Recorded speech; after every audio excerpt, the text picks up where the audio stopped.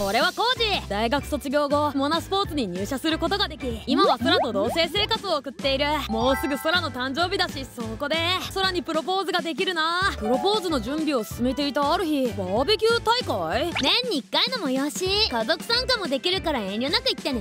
結婚してないパートナーでも大丈夫なんですか？構わないよ。身内だったら誰でもって感じだから。バーベキュー大会当日？やあコウジくん楽しんでるかな？現部長お疲れ様です。あれそちらは？ああ一人娘のひさめだ。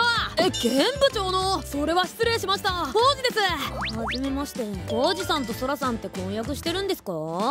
え？ほらひさめいきなり失礼だぞ。だって。婚約はしてないです。ふん。じゃあお誘いしてもいいよね。え？